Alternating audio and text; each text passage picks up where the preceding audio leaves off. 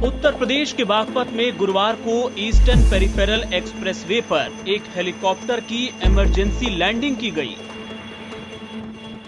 Indian air force का ये helicopter Ghaziabad के हिंडन एयरबान भरकर चंडीगढ़ की तरफ़ जा रहा था। रास्ते में तकनीकी खराबी के चलते एक्सप्रेसवे पर उसकी इमरजेंसी लैंडिंग करानी पड़ गई।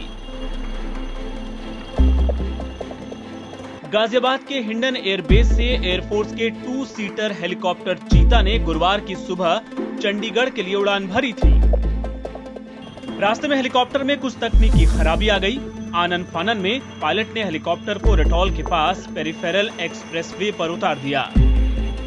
एयरफोर्स के अधिकारियों को सूचना दी गई। मौके पर चांदीनगर एयरफोर्स स्टेशन की कमांडो टीम तुरंत पहुँची। साथ ही स्थानीय पुलिस को भी खबर दी गई जो मौके पर मौजूद रही। लॉकडाउन के बीच हुई इस घटना को देखने के लिए आसपास के गाँव के लोग जुटने लगे, जिन्हें पुलिस ने वहाँ से हटा दिया। हेलीकॉप्टर में पायलट अमित यादव और सह पायलट जेएस पांडे मौजूद थे। मौके पर पहुँची मैकेनिकों की टीम ने आधे घंटे की मशक्कत के बाद हेलीकॉप्टर के फॉल्ट को ठीक किया, जिसके बाद हेलीकॉप्टर ने फिर से उड़ान भरी।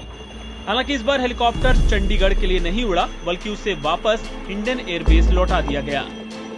वैसे गनीमत रही कि इस वक्त देश में लॉकडाउन चल रहा है, ऐसे में सड़कें खाली पड़ी हैं। वरना अचानक आए फॉल्ट के तुरंत बाद हेलीकॉप्टर को एक्सप्रेसवे पर लैंड कराना शायद थोड़ा मुश्किल होता, या फिर इसमें थोड़ा और वक्त लग जाता। एनबीटी ऑनलाइन की रिपोर्ट।